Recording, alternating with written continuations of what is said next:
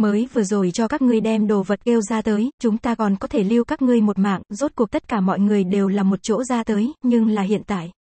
Các ngươi chính là quỳ xuống xin tha. Đều chậm. Kia tuổi trẻ nam nhân nói xong, tay phải nhẹ huy, phía sau người lập tức phi phát mà thượng. Trong lúc nhất thời, linh lực quang mang lóng lánh cơ hồ bao phủ này phiến không gian. Như vậy vây công dưới, mấy người kia, là tuyệt đối không có khả năng còn sống. Phượng Trường Duyệt lặng lặng nhìn, cũng không có tiến lên tính toán.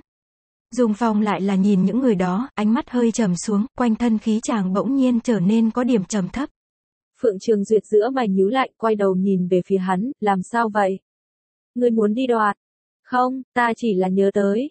Phụ thân đã từng cùng ta nói rồi, ở chúng ta dung ra cường tịnh thời kỳ, ở Long Sơn vừa mới trở thành thu thập điểm thời điểm, chúng ta cũng là như thế này.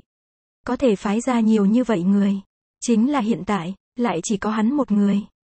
Thậm chí nếu không phải Phượng mặc hỗ trợ, hắn hiện tại khả năng đều vẫn là cửu tinh linh hoàng, liền Long Sơn tinh thạch đều không có, huống chi đạt được tư cách vào nhập nơi này. Phượng Trường Duyệt hơi hơi sừng sốt tưởng tượng giống như thật là như vậy. Thực lực mạnh mẽ gia tộc tới người nhiều, thế lực suy nhược còn lại là tới rất ít, thậm chí không có. Điểm này, thậm chí một có thể đặt ở toàn bộ Long thành phố núi tới nói. Long thành phố núi tổng cộng cũng liền năm 60 cá nhân tới, nhưng là nghe mới vừa rồi những người này nói chuyện, một cái gia tộc đều phái ra mấy chục cá nhân. Hiển nhiên không phải Long thành phố núi có thể so sánh với. Mà ở nơi đó chiến làm một đoàn thời điểm, cái kia tuổi trẻ nam nhân lại là bỗng nhiên hướng tới bên này xem ra. Phượng Trường Duyệt ánh mắt cực đạm nhìn đối phương liếc mắt một cái. Kia nam nhân ánh mắt chợt lóe, ngay sau đó thu hồi tầm mắt. Nhưng mà liền tại đây một khắc Phượng Trường Duyệt bỗng nhiên cảm giác được một cổ mạnh mẽ lực lượng hướng tới chính mình đánh tới. Nàng cả người lập tức căng chặt lên, ánh mắt trầm lệ. Toàn thân đề phòng, trước mắt bỗng nhiên xuất hiện một bóng người. Nàng lập tức ngưng mắt nhìn lại, đồng thời thân hình lui về phía sau tránh đi, người nọ tức khắc đình chỉ ở nàng trước người cách đó không xa, đổ xuống dưới, cả người là huyết. Lại là vừa rồi mấy người kia bên trong, nói chuyện kia một cái. Lúc này hắn trên người đã tất cả đều là vết thương, vết máu loang lổ, hơi thở đê mê, hiển nhiên đã sắp chết rồi. Ở hắn phía sau lưng phía trên, một đạo thật sâu vết sẹo, vắt ngang này thượng. Nhìn thấy ghê người. Thực hiển nhiên, hắn mới vừa rồi là tính toán chạy trốn, lại vẫn là bị hung hăng đánh trúng. Nhưng mà nhưng vào lúc này, cơ hồ đã không có tiếng động hắn lại là bỗng nhiên ngẩng đầu. Ánh mắt quỷ dị nhìn về phía Phượng Trường Duyệt. Phượng Trường Duyệt trong lòng đột nhiên dâng lên một cổ kỳ quái cảm giác không kịp phản ứng, liền nghe được người nọ nghẹn ngào thanh âm hô chạy mau. Chạy mau, chạy cái gì? Một bên dung phong thượng ở mê mang chung, Phượng Trường Duyệt lại là trong lòng đột nhiên sáng ngời, theo bản năng dương mắt nhìn lại. Quả nhiên nhìn đến tính cả cái kia tuổi trẻ nam nhân ở bên trong này hai mươi mấy người người, đều tại đây một tiếng lúc sau nhìn về phía nàng. Ánh mắt cực kỳ không tốt, nàng lập tức tay cầm thành quyền ra hỏa này, cư nhiên muốn vụ oan hãm hại. Dung Phong lập tức giận để bụng đầu quát lên, ngươi nói bậy gì đó. Người nọ khóe miệng xẹt qua một tia lạnh lẽo tươi cười, trong miệng lại là tê kêu, chạy mau. Những người đó chúng ta, kéo không được. Dung Phong cảm thấy được những cái đó đã dần dần hàm chứa địch ý ánh mắt trong lòng hỏa cơ hồ thiêu đốt hầu như không còn ai nhận thức ngươi. Ngươi đừng ăn nói bừa bãi. Đang muốn lại mắng, lại bỗng nhiên cảm giác Phượng mặc xả hắn cánh tay một phen, Dung Phong kinh ngạc ngẩng đầu, quả nhiên phát giác chung quanh không khí đã có chút không thích hợp. Hắn trong lòng đột nhiên trầm xuống.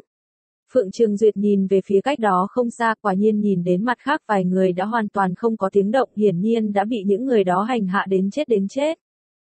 Mà chỉ còn lại có bọn họ bên chân người này, còn dư lại cuối cùng một hơi, lại là đêm này hắc hoa cho các nàng tới bối. Thật sự là hào tâm cơ. Nàng hiện tại làm cái gì đều là sai. Nàng nếu là hiện tại liền giết người này, ở người khác xem ra, chỉ là trột dạ muốn giết người diệt khẩu, nàng nếu là không giết, cũng sẽ bị coi như là bao che đồng bạn, muốn đem kia cái gọi là tinh thạch cướp đi. Nàng nếu là không làm kia cũng căn bản là là chơi chết. Người này, chính mình chết còn chưa tính, cư nhiên còn muốn kéo lên đệm lưng. Thật sự là đáng giận đến cực điểm, Phượng Trường Duyệt cảm thấy chính mình đã thật lâu không có như vậy sinh khí qua. Nàng không phải sợ hãi những người này, nàng cũng không phải không có cùng so với chính mình cường quá nhiều người chiến đấu quá. Nhưng là nàng tuyệt đối không cho phép người khác đem chậu phân hướng nàng trên đầu khấu.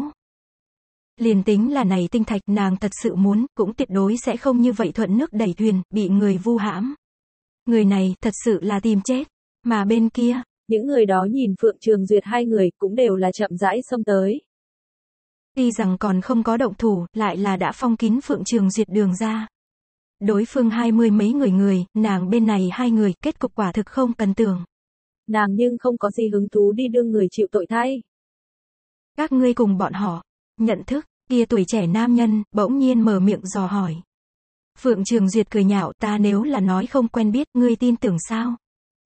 Kia nam nhân nghiêm túc nghĩ nghĩ, rồi sau đó lắc đầu, mặc kệ ta có tin hay không, các ngươi kết cục đều đã chú định.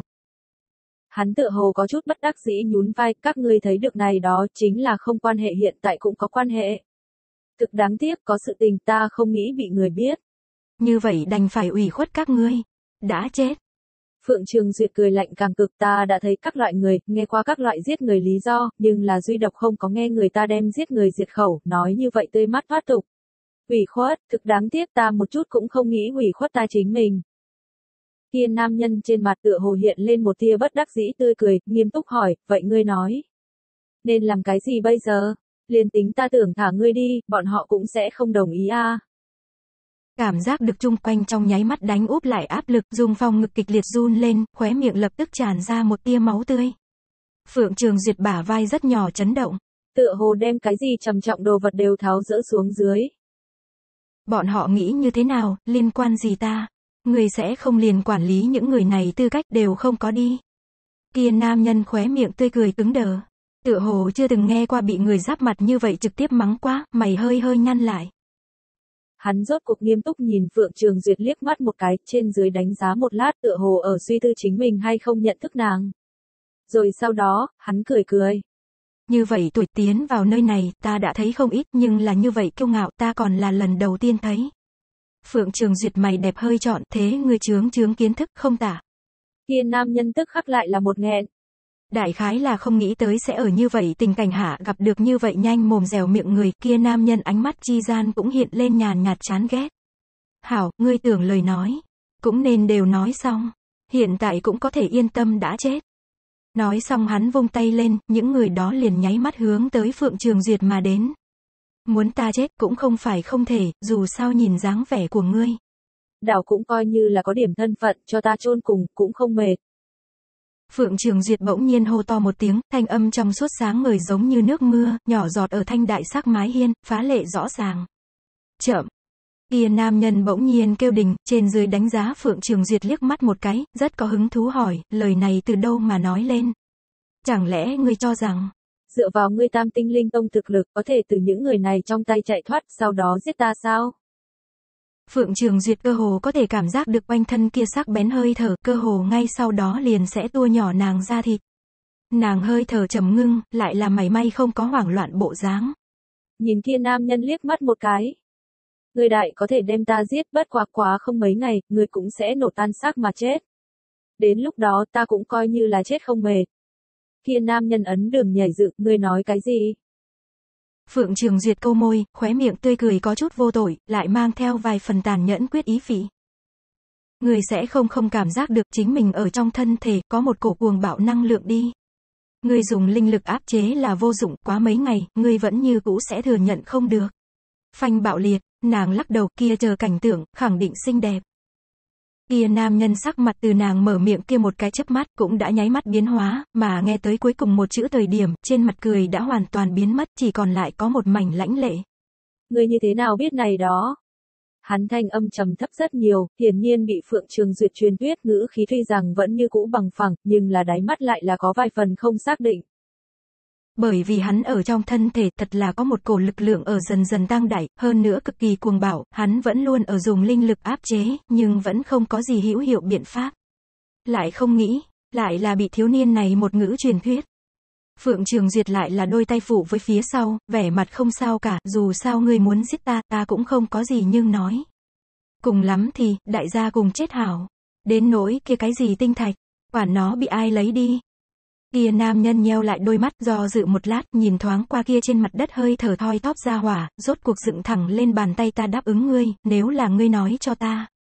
Tuyệt đối sẽ không giết ngươi, mà nơi đó mặt tinh thạch ta cũng có thể phân cho ngươi một phần ba.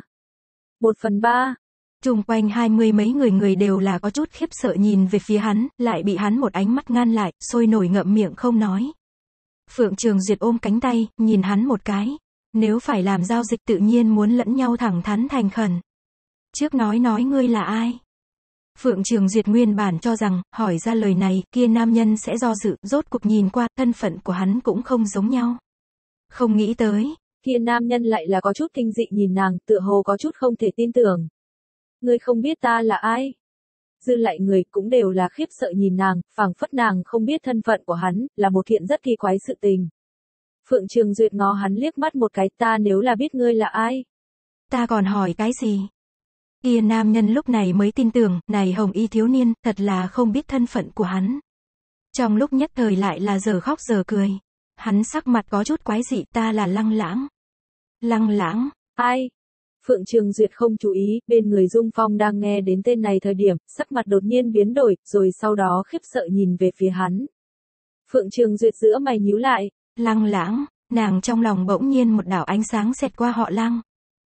Này nam nhân là lăng ra người, thấy nàng sắc mặt khẽ biến, kia nam nhân lại không cảm thấy nàng là biết hắn là ai, trong lòng lại là có chút bất đắc dĩ, cũng có chút buồn cười. Phượng Trường Duyệt đang muốn mở miệng hỏi, lại bỗng nhiên nghe Dung Phong ở sau người thấp giọng nói, hắn là lăng hắn cư nhiên chính là lăng lãng. Phượng Trường Duyệt giữa mày nhíu lại. Người nhận thức hắn, hắn là lăng ra người. Lăng ra người, như thế nào sẽ xuất hiện ở chỗ này? Dung Phong sắc mặt đổi đổi, theo bản năng dương mắt nhìn thoáng qua lăng lãng, nhìn đến kia nam nhân bình tĩnh thần sắc không biết vì sao trong lòng vẫn như cũ là có chút phát run. Lăng lãng, kỳ thật không xem như lăng ra người. Nhưng là, lại cũng là lăng ra một cái truyền kỳ nhân vật. Không xem như lăng ra người, lại là lăng ra truyền kỳ nhân vật. Thấy Phượng Trường Duyệt vẫn như cũ là không rõ nguyên do bộ dáng, Dung Phong chỉ cảm thấy lòng bàn tay không ngừng đổ mồ hôi. Trái tim kịch liệt nhảy lên, liền huyệt thái dương đều ở thình thịch đến nhảy. Như thế nào liền gặp cái này ôn thần? Mấu chốt là, Phượng mặc mất trí nhớ, như thế nào làm trò những người này mặt giải thích lăng lãng thân phận. Lăng lãng liền ở trước mắt. Hắn nếu là nói không nên nói, hậu quả có thể hay không thảm hại hơn. Nhưng là nhìn đến Phượng mặc còn ở tò mò, chỉ phải căng ra đầu thấp giọng nói, lăng lãng hắn. Trước kia là lăng ra người. Phượng Trương Duyệt hiểu rõ gật gật đầu, hiện tại không phải. Dung Phong thiếu chút nữa tưởng lôi kéo Phượng Mặc này liền độn địa đào tẩu hắn là thật sự không nghĩ tới, cư nhiên có một ngày, sẽ làm trò lăng lãng mặt nói hắn thân thế a. Này không phải thuần túy tìm chết sao? Mấu chốt Phượng Mặc còn như vậy không chút nào để ý bộ dáng. Dung Phong chỉ cảm thấy chung quanh những cái đó ánh mắt như là cương châm giống nhau, hung hăng đâm vào hắn trên người. Cũng cũng có thể nói như vậy, Phượng Trường Duyệt giống như hiểu rõ gật gật đầu. Kỳ thật liền tính Dung Phong không cẩn thận giải thích nàng cũng có thể đại khái đoán ra một ít. Ngay từ đầu là lăng ra người, hiện tại lại không tính, mà chung quanh lại còn có một ít từ chung đi theo, hơn nữa liền Dung Phong đều biết một vài. Có thể thấy được sự tình khẳng định là nháo đến bay là tả, hơn nữa không phải cái gì sáng giỏi sự tình. Nàng đối này đó kỳ thật không có gì lòng hiếu kỳ, người khác việc tư nàng từ trước đến nay không thế nào quan tâm. Như vậy ép hỏi, kỳ thật cũng là ở vì chính mình gia tăng lợi thế. Xác nhận đối phương thân phận thôi. Lang lãng lại tự hồ cũng không sinh khí, thậm chí thấy hai người không nói, còn đạm cười nói, như thế nào, đối chuyện của ta rất tò mò. Người khác nói, trung quy là đồn đãi, không bằng ta tới cùng ngươi nói. Phượng Trường Duyệt liếc hắn liếc mắt một cái, không cần, ta đối cái này không có gì hứng thú. Lăng lãng, không có gì hứng thú ngươi làm trò nhiều người như vậy mặt đều hỏi. Lăng lãng chỉ cảm thấy chính mình đã lâu lắm không có loại này bị người một chút sạc tự cảm giác tưởng phản bác rồi lại cảm thấy không có gì tất yếu. Sinh khí, tựa hồ cũng không có. Những cái đó tựa hồ đều đã là thực xa xôi sự tình thế cho nên đương từ một cái xa lạ dân cư xuôi tai đến thời điểm thế nhưng cũng không có gì dao động. phẳng phất kia đều là người khác chuyện xưa. Phượng Trường Duyệt nếu đã xác định đối phương thân phận tự nhiên không hề kéo dài ta là Phượng Mạc. Trận này giao dịch ta làm. Nàng nhấc chân đá đá kia trên mặt đất, đã mau chết người, ta có thể giúp ngươi trị liệu thương thế của ngươi, ngươi bảo đảm ta cùng Dung Phong an toàn, phương diện này tinh thạch ta muốn một nửa. Thành tựu thành, không thành, liền đồng quy vu tận. Lăng lãng mí mắt hung hăng nhảy nhảy, hắn như thế nào liền gặp như vậy cá nhân. Đúng lý hợp tình đoạt đi rồi hắn một nửa tinh thạch hơn nữa yêu cầu hắn cùng hắn thuộc hạ đương hắn hộ vệ. Này thiên hạ nơi nào có tốt như vậy chuyện này. Hơn nữa, mấu chốt người này còn một bộ ta đã cũng đủ nhường nhịn không thể lại làm chính mình có hại chính người ước lượng xem bộ dáng. Thật sự là, thật sự là, lang lãng đều cơ hồ có thể nghe được chính mình nghiến răng thanh âm, rồi sau đó, hắn nghe được chính mình tự hồ từ kẽ răng bài trừ thanh âm, hảo ta đáp ứng ngươi. Mấy thứ này lại chân quý cũng bất quá là vật ngoài thân, nếu là người này thật sự có thể có biện pháp chữa khỏi thân thể hắn, về điểm này đồ vật lại tính cái gì? Phượng Trường Duyệt ngay sau đó mày đẹp dương lên, thành giao. Nga đúng rồi, ta còn có một cái yêu cầu. Lăng lãng cảm thấy chính mình mí mắt nhảy lợi hại hơn, người nói. Yêu cầu này rất đơn giản. Phượng Trường Duyệt bàn tay trắng chỉ hướng nào đó phương hướng, ta muốn người này mệnh lang lãng theo nhìn lại, lại thấy chỉ chính là trên mặt đất kia mau chết người, lập tức thở dài nhẹ nhõm một hơi, tùy ngươi. Hắn đã nhìn ra tới, hai người kia cùng này vài người đích sắc không phải một đám, lúc này muốn người nọ tánh mạng cũng không có gì ghê gớm. Nhưng mà đang nghe đến những lời này lúc sau, trên mặt đất kia nguyên bản đã mau chết người, bỗng nhiên thân thể nhỏ đến không thể phát hiện run rẩy, bị Phượng Trường Duyệt xem cái rõ ràng. Nàng hơi hơi cong lưng, nhìn người nọ, nhẹ giọng hỏi, ngươi biết ta vì cái gì muốn ngươi mệnh sao? Người nọ thân thể run rẩy càng thêm lợi hại, lại là không chịu ngẩng đầu. Phượng Trường Duyệt công môi cười, cực lãnh cực tĩnh, bởi vì bất luận cái gì muốn cho ta chết người, đều sẽ không có cái gì kết cục tốt. Suy, huyết nhục bị đâm tùng thanh âm, A, một tiếng phá lệ thê lương tiếng kêu thảm thiết đột nhiên vang lên. Phượng Trường Duyệt mặt vô biểu tình thu hồi tay, nhìn kia đã hoàn toàn tạc vỡ ra nhìn không ra vốn dĩ hình dạng một mảnh hỗn độn. Đặc biệt là, vu hãm ta người. Nhìn nàng thần sắc không gợn sóng đem người nọ hoàn toàn bầm thây giết, hiện trường một mảnh yên tĩnh. Phượng Trường Duyệt lại tự hồ hoàn toàn không chịu ảnh hưởng, đôi mắt hơi hơi nheo lại tới. Rồi sau đó một chân hung hăng dậm trên mặt đất, ầm ầm ầm, phụ cận không ít địa phương, đều đột nhiên nổ tung. Một đạo cơ hồ trong suốt thân ảnh, bỗng nhiên vụt ra. Phượng Trường Duyệt cười lạnh một tiếng, trong tay linh lực tức khắc biến ảo thành một chương võng, đem kia đồ vật gắt gao khóa chủ. Rồi sau đó tay phải vừa thu lại. Đem kia đồ vật chặt chẽ vây ở trong tay. Nàng lấy ra một cái bình ngọc đem kia đồ vật thả đi vào. Đã thật lâu không có cấp vị kiêu uy quá thực hy vọng từ giờ trở đi, sẽ không quá muộn. Tất cả mọi người khiếp sợ không nói gì nhìn nàng này liên tiếp động tác liền mạch lưu loát. Liền cái chỉ độ đều không có, phảng phất làm trăm ngàn từ giống nhau trôi chảy. Lăng lãng trong lòng hơi chấn. Mới vừa rồi kia nhất chiêu, thiếu niên này cư nhiên có thể tu tập linh hồn thể. Hắn tu tập linh hồn thể làm cái gì? Tuy rằng tò mò, lăng lãng lại cũng không tính toán hỏi. Hắn biết lẫn nhau chi gian, đều hẳn là bảo trì cũng đủ khoảng cách mới có thể hợp tác vui sướng. Rồi sau đó, Phượng Trường Duyệt từ trên mặt đất nhặt lên một quả nhẫn không gian, hướng về phía lăng lãng lắc lắc đồ vật ta hoa đi một nửa. Lăng lãng nói cho chính mình nhất định phải áp chế. Áp chế. Hiện tại, ngươi có thể nói cho ta, như thế nào tiêu trừ những cái đó cuồng bạo năng lượng đi. Tiếp được Phượng Trường Duyệt ném lại đây nhẫn. Hắn cơ hồ không có tạm dừng liền trực tiếp mở miệng dò hỏi. Phượng Trường Duyệt lần thứ hai nhìn hắn một cái, ánh mắt hơi thâm, rồi sau đó lại là cười. Ta chính là trước nói hảo, nếu là chính ngươi kiên trì ngốc tại nơi này. Ta đây chính là thần Phật cũng không thể nào cứu được ngươi. lang lãng một đốn, ngươi nói cái gì? Phượng Trường Duyệt bốn phía nhìn một vòng, lăng lãng lập tức hiểu ngầm, phái xuống tay đều đi chung quanh thủ. Hiện tại, ngươi có thể nói. Hắn nhìn chằm chằm Phượng Trường Duyệt. Không tự giác ngừng lại rồi hô hấp. Phượng Trường Duyệt nhìn hắn, bỗng nhiên liên tưởng đến cái gì, thử hỏi ngươi sẽ không không biết phương diện này linh lực ẩn chứa đại lượng cuồng bạo năng lượng đi. Liên tính là linh tông, chỉ cần ở chỗ này mang lên một đoạn thời gian, cũng vô pháp chống đỡ kia lực lượng, thời gian dài, tự nhiên nổ tan xác mà chết, này đó ngươi cũng không biết sao. Lang lãng thần sắc dần dần trở nên khiếp sợ, nghe tới cuối cùng một chữ thời điểm, trong mắt đã là dâng lên ngập trời phẫn nộ. a phạm vi 10 dặm, bỗng nhiên năng lượng thổi quét mà đến. Lấy ba người vì trung tâm, trên mặt đất bỗng nhiên xuất hiện vô số cái khe. Phượng Trường Duyệt nhìn hắn, bỗng nhiên nhẹ giọng nói. Đáng thương.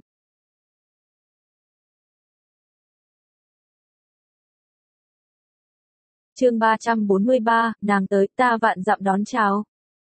Phượng Trường Duyệt cùng Dung Phong liền như vậy cùng lăng lãng đoàn người cùng nhau đi trước. Phượng Trường Duyệt thực rõ ràng cảm giác được lang lãng đang nghe nàng nói xong những cái đó lúc sau, cảm xúc trở nên trầm thấp rất nhiều tuy rằng lúc ấy hắn nhìn cực kỳ bạo nộ bộ dáng. Nhưng là kia một tiếng gào giống lúc sau, lại rốt cuộc không có gì mặt khác tỏ vẻ.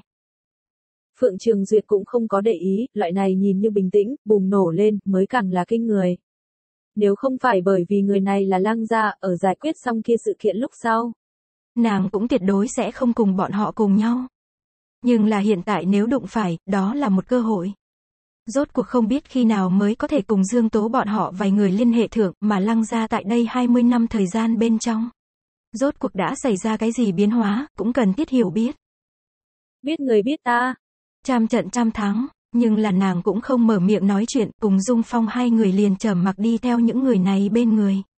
Hắn không vội, nàng tự nhiên càng thêm không vội. Dù sao lăng lãng thân thể tình huống, cũng không chấp nhận được hắn tiếp tục kéo đi xuống. Nhưng thật ra lúc này đây, kiếm được tinh thạch làm nàng có chút hứng thú. Làm trò nhiều người như vậy mặt hơn nữa là ở như vậy địa phương, nàng đương nhiên sẽ không đem chính mình đồ vật lấy ra tới xem, chỉ là ở đem kia đồ vật bỏ vào không gian thời điểm. Đó là cảm thấy một trận nóng rực, đó là cực kỳ tinh thuần lực lượng mới có thể sinh ra dao động. Nàng đem vài thứ kia phân cho Dung Phong một nửa. Dung Phong vừa mới bắt đầu cũng không tính toán muốn, Dung sắc thậm chí có chút kinh hoàng, hiển nhiên cũng không có tính toán muốn thứ này. Rốt cuộc ở hắn xem ra, đây là Phượng mặc chính mình một người dựa vào chính mình năng lực được đến, hắn cũng không có cái gì tư cách cầm. Nhưng là ở Phượng Trường Duyệt một ánh mắt ý bảo hạ, hắn vẫn là thành thành thật thật tiếp nhận rồi. Bất quá làm Phượng Trường Duyệt tương đối yên tâm chính là, Dung Phong trên người nhẫn không gian cấp bậc không yếu, mặc dù là nàng, cũng có thể đủ mơ hồ cảm giác được một cổ uy áp. Có thể thấy được Dung gia đã từng phồn vinh thời điểm, là thật sự để lại một ít thứ tốt. Như vậy, cũng liền không cần lo lắng sẽ có người cảm thấy được bọn họ trên người có tinh thạch tiến tới đưa tới phiền toái. Ở chỗ này, nhiều một chuyện không bằng thiếu một chuyện. Đoàn người cứ như vậy trầm mặc đi phía trước đi tới. Mẫu thân, đây là thứ gì? Nhìn giống như ăn rất ngon bộ dáng A. Phượng Trường Duyệt đem những cái đó màu vàng nhạt tinh thạch để vào không gian lúc sau. Không cách bao lâu liền nghe được oa oa nho nhỏ thanh âm. Phượng Trường Duyệt phân ra một sợi tinh thần lực tham nhập kim sắc vòng tay, quả nhiên nhìn đến oa oa chính đầy mặt hưng phấn nhìn kia hoàng tinh thạch ngập nước đôi mắt sáng lấp lánh. Cơ hồ đều không rời mắt được. Rồi sau đó, cảm thấy được Phượng Trường Duyệt đã đến, oa oa vội vàng vẫy vẫy tay nhỏ, mẫu thân. Ngươi xem, này giống như thật sự ăn rất ngon bộ dáng a. Oa oa có thể hay không nếm thử a. Phượng Trường Duyệt lực hết chỗ nói rồi một chút đảo mắt nhìn nhìn kim màu vàng nhạt tinh thạch. Tuy rằng nhan sắc đích xác thực trong suốt xinh đẹp nhưng là... Này dù sao cũng là cứng rắn tinh thạch a. Oa oa như thế nào sẽ muốn ăn? Nàng lại lần nữa nhìn về phía Oa Oa, lại là khó được nhìn đến Oa Oa cư nhiên không có trước tiên nhìn về phía nàng, đôi mắt thế nhưng như là dính vào kia tinh thạch mặt trên giống nhau.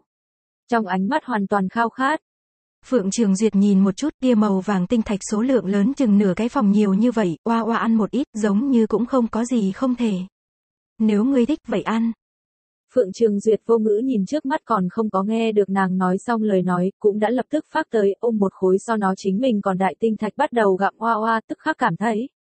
Chính mình mới vừa rồi nói, giống như nói sớm. Oa oa một ngụm cắn đi xuống.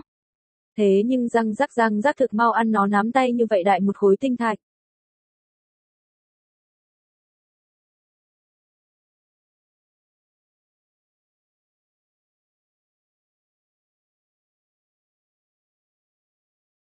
Như vậy tốc độ Phượng Trường Duyệt Tư cho rằng, trừ bỏ tiểu bạch đại khái không có người có thể so sánh với.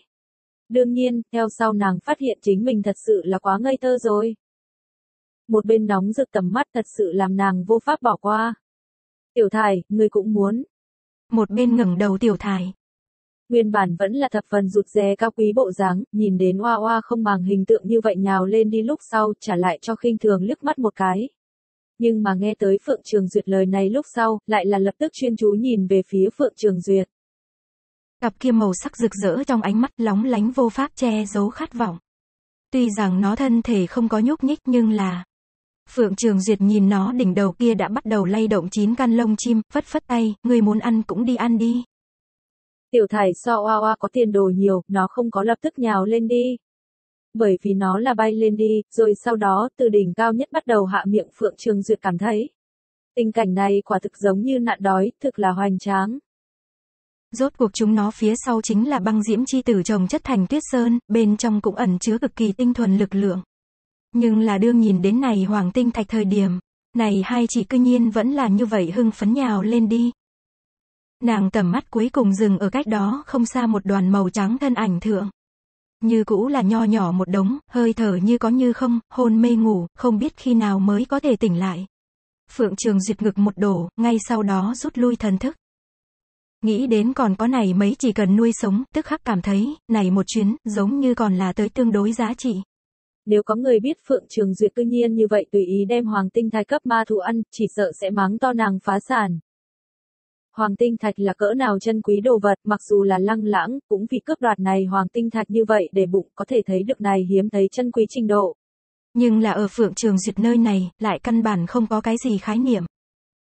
Hoặc là ở nàng xem ra, mấy thứ này tuy rằng không tồi, nhưng là không có lại cũng có thể lại đoạt. Bất quá, nàng hiện tại xác thật có điểm minh bạch. Vì cái gì như vậy nhiều người đối này tinh thạch đều như vậy ham thích thậm chí không tiếc đua kính tánh mạng đi đoạt lấy. Oanh! Bỗng nhiên một đạo kinh thiên tiếng vang, đem mọi người tầm mắt đều hấp dẫn qua đi. Phượng Trường Duyệt dương mắt nhìn lại, liền nhìn đến nơi xa ẩn ẩn một đoàn màu đỏ, mà khi tiếng nổ mạnh. Đúng là từ nơi đó chuyển đến. Nàng thực mau phát giác lang lãng đám người thần sắc đều đổi đổi. Tự nhiên nhanh như vậy liền lại xuất hiện. Phượng Trường Duyệt chưa tới kịp hỏi là cái gì xuất hiện. Liền nhìn đến lang lãng đám người, đã dẫn đầu bay về phía cái kia phương hướng. Nàng cùng Dung Phong liếc nhau, cũng lập tức đuổi kịp. Đoàn người tốc độ thực mau, Phượng Trường Diệt thực mau cảm thấy được một cổ cường đại năng lượng dao động truyền đến. Nàng thần sắc một ngưng, theo sau nhìn kỹ đi, lại vẫn như cũ chỉ có thể nhìn đến kia một đoàn màu đỏ mờ mịt tiêu chi không đi. Bên trong ám ảnh thật mạnh, cái gì đều thấy không rõ tích. Lang lãng lại là không chút do dự, trực tiếp vọt đi xuống. Phượng Trường Duyệt do dự một lát, quanh thân linh lực vận chuyển, đem cảnh giới nhắc tới tối cao, tùy thời đều có thể ra tay. Đường vọt vào đi thời điểm. Phượng Trường Duyệt chỉ cảm thấy một cổ luồng không khí lạnh đột nhiên đánh úp lại. Linh tông cường giả đối với giống nhau độ ấm biến hóa, đều là có được cực cường nhẫn nại lực, có thể làm nàng lập tức cảm thấy được tấn mãnh, có thể thấy được này độ ấm thật là đủ thấp. Trên thực tế, đương nàng thấy rõ trước mắt một màn thời điểm cũng nhịn không được trong lòng vừa động bởi vì ở bọn họ dưới chân, rộng lớn vô ngần thổ địa thượng. Lại là bỗng nhiên nứt ra rồi một đạo thật sâu cái khe. Kia một đạo cái khe rất dài, rất sâu, như là một cái thật lớn miệng vết thương, phát ngang tại đây phiến thổ địa phía trên, không nói gì trầm mặc. Mà ở kia cái khe bên trong, chính ẩn ẩn truyền đến trào dâng con sông thanh âm. Mà kia một cổ rét lạnh cảm giác đúng là từ kia cái khe bên trong lan tràn ra tới. Lăng lãng hơi hơi nheo lại đôi mắt lại là dẫn đầu nhìn về phía chung quanh. Phượng Trường Duyệt cũng thấy sát đến không thích hợp, nhìn về phía bốn phía. Ngắn ngủn thời gian, tại đây cái khe bốn phía, đã hội tụ rất nhiều người. Liếc mắt một cái nhìn lại, ước chừng có 60 nhiều người. Bọn họ thần sắc khác nhau, nhìn như là đến từ bất đồng thế lực nhưng là lúc này, đáy mắt lại đều kích động một phần khó có thể che giấu khao khát nhìn kia cái khe. Tựa hồ bên trong có thứ gì chính hấp dẫn bọn họ. Mà ở bên ngoài còn có không ít người đang ở bay nhanh tới rồi, người càng ngày càng nhiều. Lăng lãng lại là bỗng nhiên ý vị không rõ cười cười, rồi sau đó nhìn về phía bên cạnh Phượng Trường Duyệt. Người có biết nơi này vì cái gì nhiều người như vậy tụ tập ở bên nhau? Phượng Trường Duyệt dung sắc bất biến, ánh mắt thâm trầm, cái này mặt có tinh thạch. Lăng lãng lộ ra một cái mang theo vài phần châm chọc tươi cười, đương nhiên, trừ bỏ tinh thạch. Còn có thể có thứ gì, có thể cho bọn họ như vậy xua như xua vịt. Lời nói bên trong, mang theo cười nhạo, không biết là đang cười những người đó, vẫn là đang cười chính mình. Phượng Trường Duyệt không nói. Lăng lãng thực thông minh. Thực mau đoán được một ít đồ vật. Nơi này linh lực độ dày rất cao, ẩn chứa năng lượng cũng rất cường đại, trong đó, để cho nhân tâm động tự nhiên là dưới mặt đất tinh thạch. Mà trên thực tế, nơi này sở dĩ sẽ biến thành cái dạng này. Chính là bởi vì ngầm có quá nhiều tinh thạch quanh năm suốt tháng phát huy năng lượng. Những cái đó linh lực bên trong ẩn chứa cuồng bạo năng lượng, sẽ làm người nổ tan xác bỏ mình, như vậy này đó năng lượng nơi phát ra tinh thạch tự nhiên sẽ càng thêm nguy hiểm. Mà những người này, bao gồm ngay từ đầu lăng lãng, đều như vậy nóng bỏng hy vọng tìm kiếm cướp đoạt tinh thạch. Không nghĩ tới, là ở đem chính mình hướng tử lộ thượng đưa. Nếu là ở chỗ này ngây ngốc ba ngày, những người đó cũng rất khó cảm thấy, bởi vì ở trong thân thể tăng thêm năng lượng quá nhiều, nhưng là lại sẽ ở về sau tu luyện thượng sinh ra thực nghiêm trọng hậu quả cùng ảnh hưởng. Nàng không hỏi lăng lãng thân là lăng ra người, như thế nào sẽ ở như vậy địa phương, rốt cuộc nếu hắn muốn, hẳn là không thiếu mấy thứ này. Nàng cũng không biết lăng lãng ở chỗ này bao lâu. Trên thực tế, nàng đoán rằng lăng lãng ở chỗ này thời gian tuyệt đối không ngắn. Bởi vì lăng lãng thực lực nàng căn bản vô pháp dọ thám biết mà thân thể hắn tình huống tuy rằng thực nghiêm trọng nhưng là lại vẫn như cũ rất là ngoan cường chống đỡ. Hắn thậm chí còn có thể dùng linh lực áp chế, có thể thấy được thủ đoạn đích xác không giống bình thường. Hắn duy nhất không nghĩ tới, khả năng chính là thứ này, so với hắn tưởng tượng càng thêm lợi hại. Lăng lãng khóe miệng mang theo nhạt nhẽo ý cười, trong mắt lại giống như hàn băng một mảnh lãnh lệ. giơ tay chỉ chỉ phía dưới cái khe, rất có hứng thú cùng Phượng Trường Duyệt giải thích. Nơi này, tinh thạch là rất khó tìm kiếm, có cho dù đào ba thước đất. Cũng chưa chắc có thể tìm được, nhưng là có đôi khi tinh thạch sẽ có quy luật tính hoạt động, năng lượng va chạm tự nhiên liền sẽ tạo thành như vậy hậu quả. Cho nên, cái nào địa phương sinh ra cái khe, liền chứng minh kia phía dưới khẳng định là có đại lượng tinh thạch. Phượng Trường Duyệt hiểu rõ gật đầu, các ngươi phía trước cũng là ở như vậy cái khe bên trong tìm kiếm. Lăng lãng gật đầu, ánh mắt ý vị không rõ, nhìn đến những người đó sao? Nơi này mọi người, đang nghe đến kia tiếng nổ mạnh thời điểm, đều sẽ vội vàng tới rồi, tiện đang nghĩ mọi cách cướp đoạt. Người xem nơi này thực mau liền 100 nhiều người, còn có người đang không ngừng tới rồi, nhiều sao? Phượng Trường Duyệt không nói, đây chính là rất ít đâu. Ta trước một hồi, vì cướp đoạt về điểm này đồ vật chính là ở một ngàn nhiều người bên trong sát ra tới. Bất quá chính là cuối cùng bị người tận dụng mọi thứ, trộm đoạt đi rồi thôi. Bất quá nếu không phải như vậy, hắn cũng sẽ không gặp được Phượng Mặc tự nhiên cũng sẽ không biết. A, nhìn những người này nóng bỏng ánh mắt, hắn thật là cảm thấy chính mình dại ruột muốn mệnh. Lăng lãng đoàn người ở giữa không trung ngốc bất động, nhưng là vẫn là thực nhanh có người nhận ra tới. Không ít người khe khẽ nói nhỏ, ánh mắt không ngừng hướng tới bên này ngó. Kia không phải lăng lãng sao? Hắn như thế nào cũng ở chỗ này. Ai, hôm nay này một chuyến, chỉ sợ lại là đến không? Kia thì thế nào, hắn kia tổng cộng hai mươi mấy người người. Chúng ta nếu là liên hợp lại, sao có thể sẽ thua? Lăng lãng, là bị lăng ra cái kia lăng lãng sao? Nghe nói hắn thủ đoạn rất lợi hại a hôm nay này, Phượng Trường Duyệt nghe được rõ ràng, đại đa số người thế nhưng đều nhận thức lăng lãng. Hơn nữa thái độ đều là mang theo vài phần kính sợ, vài phần kiêng kỵ. Xem ra lăng lãng trên người sự tình, so nàng tưởng tượng nháo đến lớn hơn nữa a nàng liếc mắt một cái nhìn lại, tới người quả nhiên càng ngày càng nhiều, ngắn ngủn thời gian. Lại là đã sắp có 400 người. Tất cả mọi người nóng bỏng nhìn kia cái khe, nghe kia ẩn ẩn thanh âm, đều hận không thể lập tức lao xuống đi, nhưng là lại không biết vì sao, thế nhưng đều không có động tĩnh. Trường hợp trong lúc nhất thời có chút xấu hổ. Thực hiển nhiên, đại đa số người đều ở kiêng kỵ lang lãng. lang lãng lại tự hồ đã xuất hiện phổ biến, đối những người đó hoàn toàn bỏ qua, chờ phía dưới thanh âm dần dần bình ổn thời điểm, hắn bỗng nhiên quay đầu nhìn về phía Phượng Trường Duyệt. Muốn đi xuống sao? Lời này vừa nói ra, mọi người chết giống nhau yên tĩnh. Vô số người đều khiếp sợ không nói gì nhìn một màn này, quả thực không thể tin được hai mắt của mình. Đó là lăng lãng đi, đó là lăng ra cái kia lăng lãng đi, hắn vừa rồi đang làm gì, hắn cư nhiên ở hướng người khác dò hỏi ý kiến, đây là gặp quỷ sao? Không ít nguyên bản bỏ qua Phượng Trường Duyệt người, lập tức đem tầm mắt ngưng chú ở Phượng Trường Duyệt trên người. Những cái đó ánh mắt lưng như kim chích, Bất quá Phượng Trường Duyệt cũng không để ý, lăng lãng tình cảnh thoạt nhìn thật là quỷ dị. Trong truyền thuyết cao cao tại thượng lăng ra người, thế nhưng xuất hiện ở như vậy địa phương, hơn nữa chung quanh những người này, thấy hắn thế nhưng cũng không có tiến lên lấy lòng ý tứ. Ngược lại đều là lòng có kiên kỵ bộ dáng. Đi xuống A, có cái gì vì cái gì không lấy. Phượng Trường Duyệt yên lặng nhớ tới điên cuồng khai gặm hai chỉ. Thời gian chỉ có ba ngày, đương nhiên phải nắm chặt có thể lấy một chút là một chút. Lang lãng không ngoài sở liệu gật gật đầu. Kỳ thật này vừa hỏi hắn cũng biết đáp án, tuy rằng Phượng mặc biết này linh lực bí mật nhưng là lại tựa hồ cũng không để ý bộ dáng. Nhìn dáng vẻ của hắn, rõ ràng là có biện pháp giải quyết. Dù sao đã làm giao dịch cũng không kém này một chuyến. Lại nói kia hoàng tinh thạch đảo cũng thật là thứ tốt. Đi thôi, lăng lãng nói xong, thân ảnh chợt lóe, đó là nháy mắt hướng tới phía dưới bay đi. Phượng Trường Duyệt cùng Dung Phong đám người cũng sôi nổi đáp xuống, thân ảnh thực mau liền biến mất ở kia một mảnh màu đỏ bên trong. Bên ngoài người thấy vậy còn lại là hai mặt nhìn nhau. Lăng lãng thực lực bọn họ đều là có nghe qua nghe đồn, thậm chí có một ít người là kiến thức qua, đánh bừa nói. Cơ hồ không có người có thể thắng hắn, nhưng là, muốn cứ như vậy từ bỏ cũng là không cam lòng a. Đi, đi xuống nhìn xem, xem này cái khe, phía dưới tinh thạch khẳng định không ít, chẳng lẽ kia lang lãng, còn có thể đem đồ vật đều lấy đi sao? Không ít người cắn chặt răng, lập tức cũng vọt đi xuống. Tới nơi này vốn dĩ chính là vì tinh thạch, lúc này thật vất vả gặp phải, đương nhiên không có từ bỏ đạo lý. Như là mở ra cái gì chốt mở giống nhau, một người đi xuống lúc sau. Dư lại người liền sôi nổi phía sau tiếp trước phi đi xuống. Thực mau, mọi người thân ảnh đều ẩn nấp ở bên trong. Mà bên ngoài, lại vẫn như cũ cuồn cuộn không ngừng có người xông tới.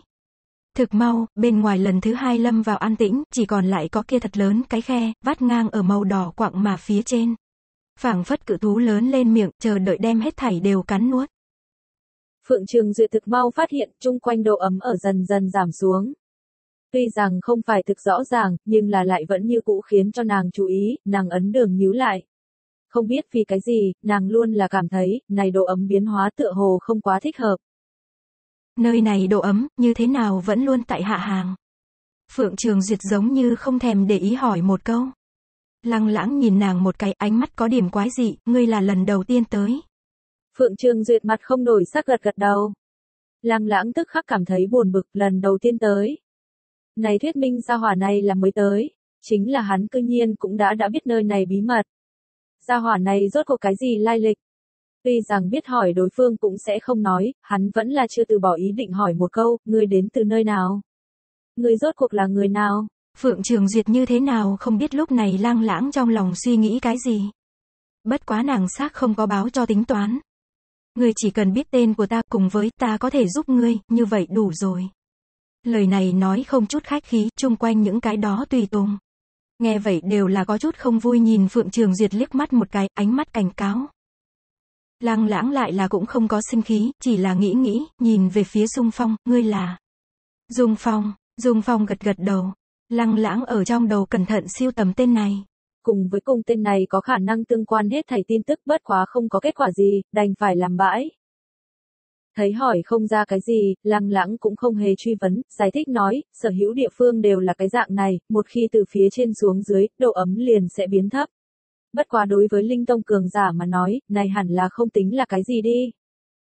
Hắn hỏi ra cuối cùng một câu, bỗng nhiên ý thức được cái gì Phượng Mặc sẽ không bởi vì này đơn giản độ ấm biến hóa hỏi hắn vấn đề, hắn nếu là mở miệng như vậy có phải hay không chứng minh.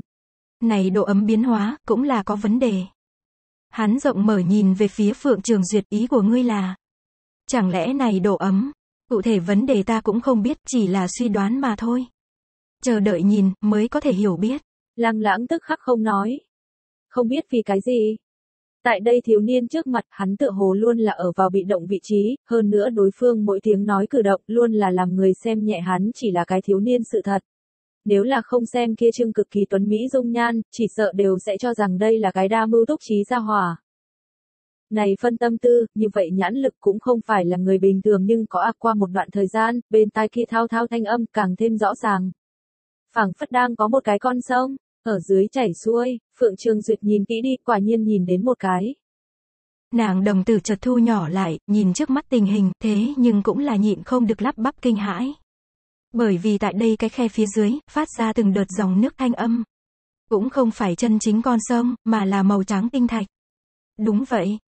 Hiện ra ở nàng trước mắt bỗng nhiên là một mảnh rộng lớn hẹp dài khe sâu giống nhau tồn tại, mà ở trước mắt kia một mảnh oánh bạch thanh thấu màu trắng.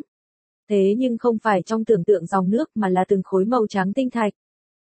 Những cái đó tinh thạch hình dạng không đồng nhất, lớn nhỏ bất đồng, lẫn nhau tích lũy ở bên nhau, lại là chồng chất thành một cái cực kỳ đồ sộ cảnh tượng liếc mắt một cái nhìn lại, thế nhưng như là màu trắng tinh thạch đúc liền thế giới giống nhau. Liếc mắt một cái nhìn lại, một mảnh oánh bạch, mà kia dòng nước giống nhau thanh âm, là, nồng đậm linh lực tại đây trong đó phiêu đãng ở vô số tinh thạch phía trên khúc chiết trở về. Năng lượng chạm vào nhau phát ra thanh âm, gần chỗ nghe tới, càng cảm thấy mênh mông cuồn cuộn.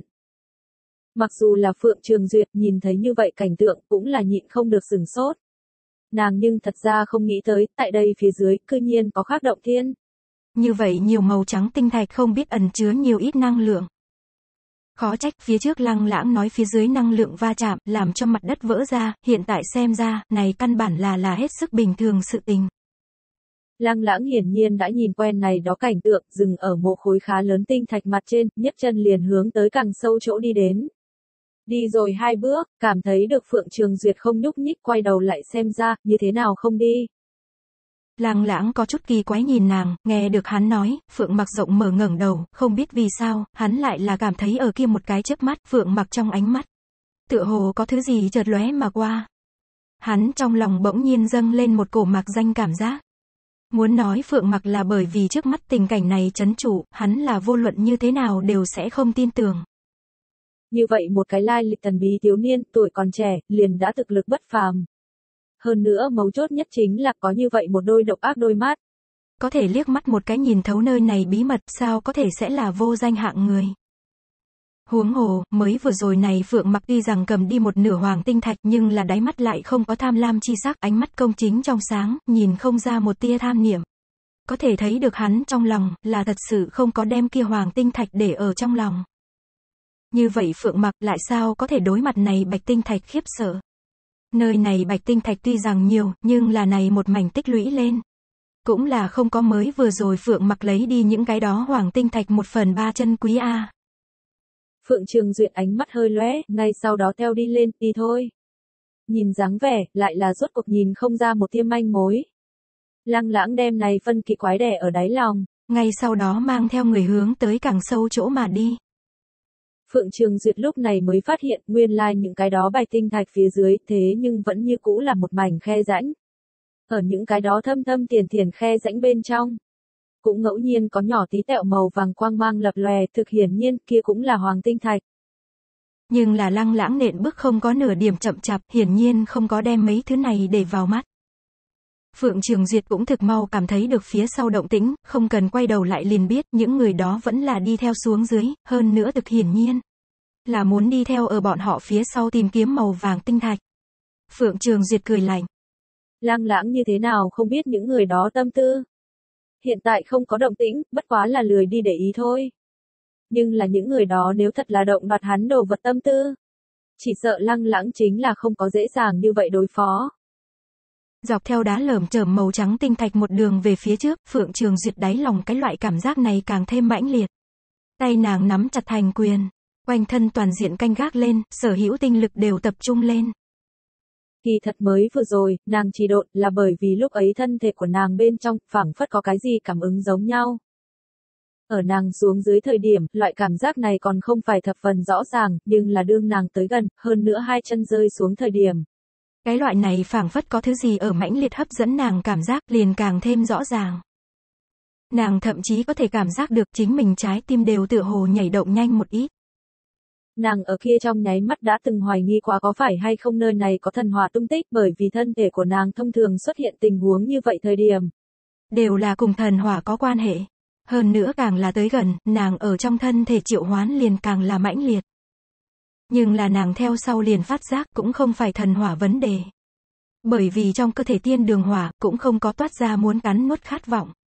Nói cách khác, nơi này không có gì là cùng thần hỏa có quan hệ. Nhưng là cái loại cảm giác này lại càng thêm mãnh liệt. Sau lại, nàng mới kinh ngạc phát hiện cư nhiên là kia trứng màu vấn đề. Trứng màu bị nàng đặt ở hoàng kim vòng tay bên trong, kỳ thật cũng là cùng nàng tinh thần tương thông. Nàng thực mau liền cảm thấy được kia cổ tác động lực lượng, rõ ràng chính là kia trứng màu phát ra. Hơn nữa ở kia một cái chớp mắt nàng cảm giác được rõ ràng, trứng màu giật giật tựa hồ thập phần nóng bỏng ở biểu đạt cái gì. Hiện tại xem ra chính là kia một cổ mãnh liệt hấp dẫn. Nàng áp xuống cái loại cảm giác này, rồi sau đó không lộ thanh sắc đi theo lăng lãng phía sau hành tẩu, nhưng là trong lòng lại là đã toàn diện cảnh giới lên. Kia trứng màu, nàng đến bây giờ cũng không biết kia rốt cuộc là cái gì, nhưng là ẩn ẩn cảm thấy không phải cái gì đơn giản tồn tại, cho nên cũng liền vạn phần cẩn thận. Mà càng là hướng tới bên trong đi đến, trước mặt lộ liền càng là rộng lớn, mà đường xá cũng càng ngày càng nhiều. Bởi vì những cái đó màu trắng tinh thạch tương đương với trồng chất thành một cái mê cung, tại đây trong đó, càng ngày càng nhiều phân nhánh, làm cho càng ngày càng nhiều bất đồng con đường. Mà phía sau những người đó, cũng vẫn như cũ gắt cao đi theo. Lang lãng đi đến một cái đại phân nhánh khẩu, rốt cuộc ngừng lại, xoay người cười lạnh một tiếng. Lại đi phía trước đi, các ngươi tốt nhất chính mình lựa chọn phương hướng. Vạn nhất không cẩn thận cùng ta tuyển giống nhau, xuất hiện cái gì ngoài ý muốn, ta chính là sẽ không đảm bảo. Không ít người sắc mặt tức khắc thanh hồng đan sen, lại là không có người mở miệng phản bác.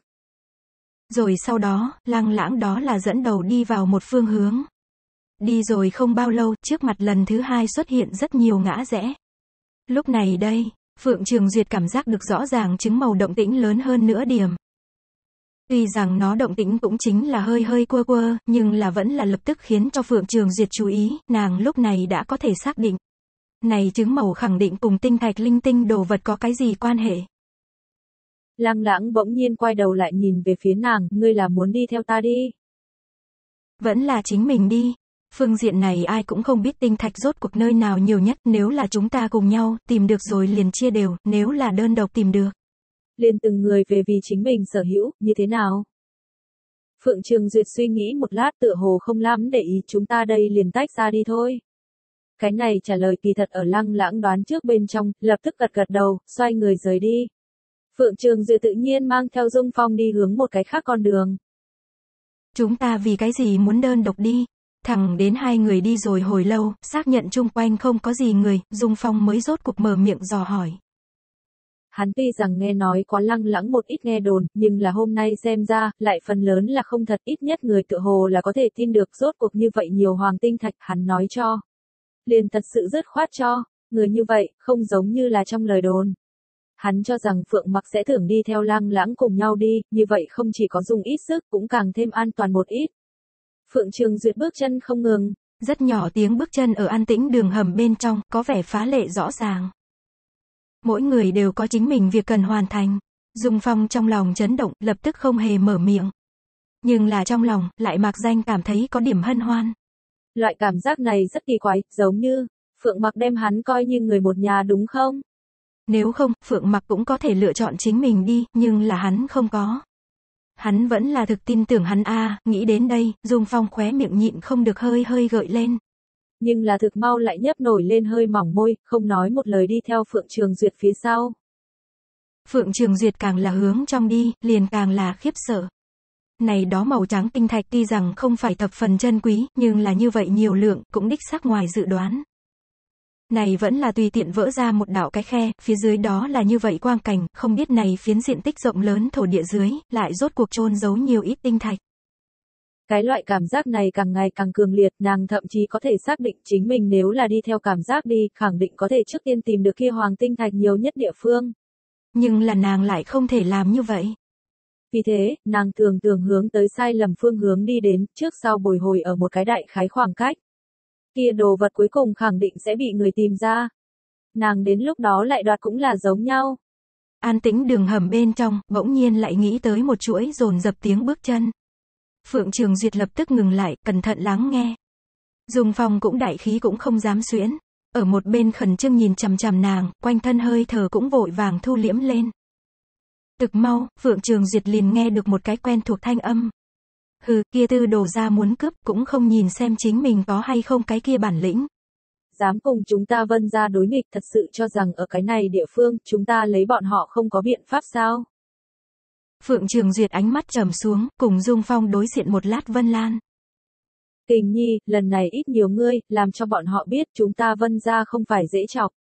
Ở cái này địa phương, thật sự là quá khó đi, lại là làm cho bọn họ đào tàu. Nếu không, nói cái gì cũng muốn làm cho bọn họ trả giá điểm đại giới. Phượng Trường Duyệt trong lòng vừa động, Vân Kình cũng ở. dùng phòng nghe thấy cái này tên, ở cảm thấy được là Vân Lan thời điểm trong mắt phẫn nộ tức khắc tiêu giảm rất nhiều. Thay bình tĩnh thần sắc, hắn tuy rằng đối Vân Lan hận thấu xương, nhưng là Vân Kình đích xác không dung khinh thường. Lúc trước Phượng mặc cùng Vân Kình một trận chiến, hắn cũng đã nghe hạ nhân nói qua tuy rằng hai người là thế hòa, nhưng là hắn biết đó là Phượng mặc liều mạng kết quả. Nếu không, một cái tam tinh cùng một cái bốn sao linh tông, sao có thể thế hòa? Hắn tuy rằng không có nhìn đến, nhưng là nghe những người khác sau khi trở về kích động mà cảm động miêu tả, cũng có thể tưởng tượng đến cùng ngày tình hình. Cho nên, nếu là Vân Kình tại đây, hắn là sẽ không làm Phượng mặc lại mạo hiểm đi lên. Phượng Trường Duyệt tự nhiên không biết Dung Phong lúc này suy nghĩ cái gì, nàng không muốn cùng Vân Kình gặp phải, thuần túy là bởi vì không muốn cùng hắn đánh. Hơn nữa, nghe thanh âm, tuyệt đối không ngừng bọn họ hai người. Nàng bỗng nhiên cảm thấy trên người truyền đến một trận lạnh lẽo, cơ hồ là lập tức xuất phát từ bản năng cong hạ eo. Đồng thời đem Dung Phong hung hăng lôi kéo. Ca, vũ khí sắc bén hung hăng đâm vào tinh thạch thanh âm, chỉ một thoáng vang ở bên tai.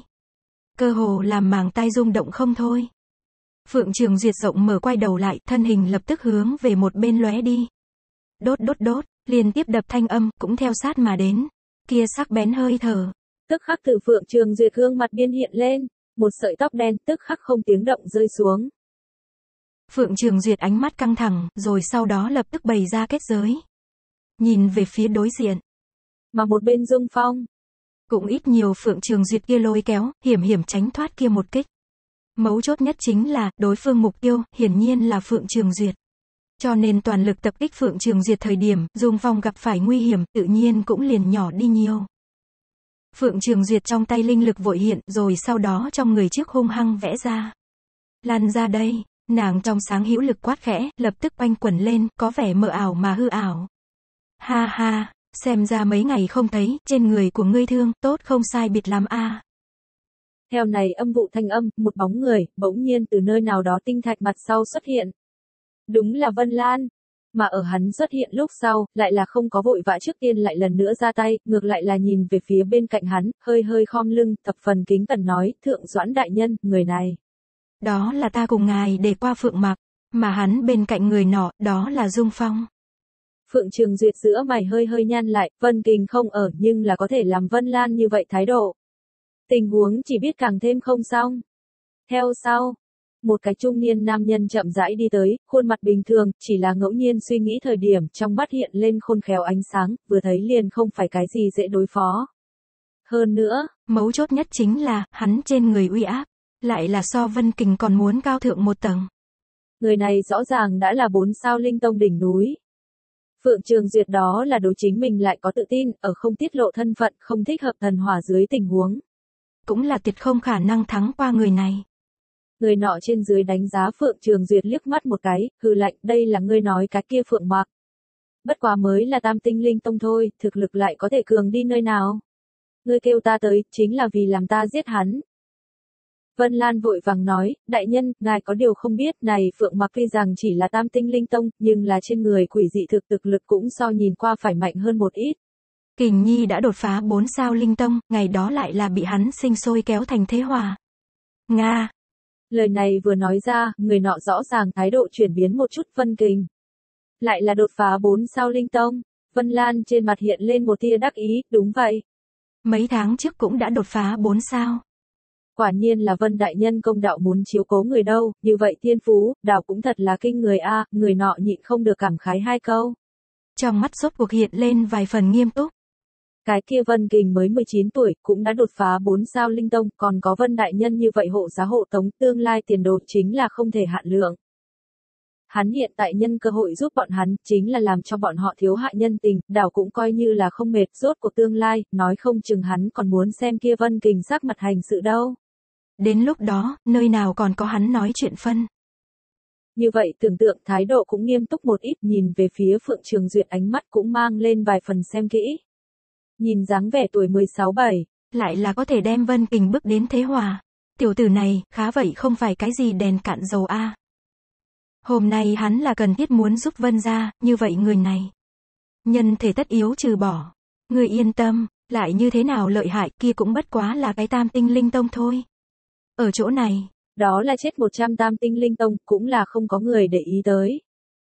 Vân Lan liên tục gật đầu, đại nhân nói chính là, tiểu tử này cùng chúng ta vân ra kết thù.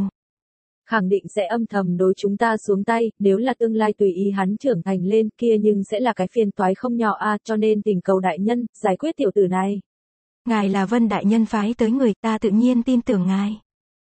Trên thực tế, Vân Lan tự vừa tiến đến liền vẫn luôn muốn đối phượng mặc xuống tay, nề hà kia tiểu tử thật sự là quá mức nhạy bén, hắn cũng cũng không dám đi theo thân cận quá. Cuối cùng lại là hoàn toàn ném. Nhưng là sau lại, hắn lại là gặp cái này thượng doãn. Mới biết được nguyên lai like bọn họ vân ra 5 năm trước bị lựa chọn người kia, lúc này đây cũng là làm sứ giả ra tới tuyển chọn người, mà những người đó, thực lực đều thập phần không tồi. Hắn đó là lén công đạo rất nhiều người nếu là gặp được vân gia người, có thể giúp đỡ vội. Cái này thượng doãn, đúng là trong đó một người. Hắn lúc trước gặp được Vân Lan cũng là ngẫu nhiên, theo sau đó là đem tin tức này nói cho Vân Lan, Vân Lan tự nhiên là vô cùng cao hứng. Nhưng là bởi vì sứ giả phần lớn ở bên ngoài chờ cho nên tạm thời là không thấy được người. Hắn phải làm phiền người này, nếu là gặp được một thân hồng y phượng mặc liền hạ sát thủ. Kết quả, vừa vặn lại là ở chỗ này gặp được. Bọn họ hai người cũng là cảm thấy được bên này có động tĩnh mới đến tới rồi bên này, tuy rằng tới tương đối trễ, nhưng là người vẫn như cũ rất nhiều. Mà từ những người này miêu tả bên trong, hắn mới biết được Phượng mặc lại là đi theo kia lăng lãng đi vào.